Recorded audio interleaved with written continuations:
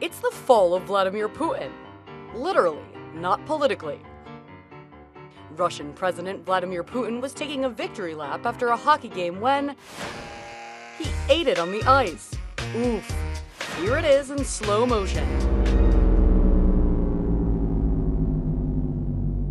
And again.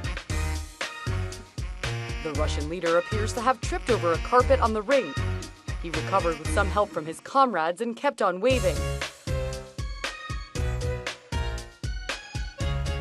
The Russian strongman's embarrassing moment came after an exhibition match in Sochi that featured former NHL players. The former KGB agent scored eight goals during the game. But this is the moment everyone will remember. This is InsideEdition.com.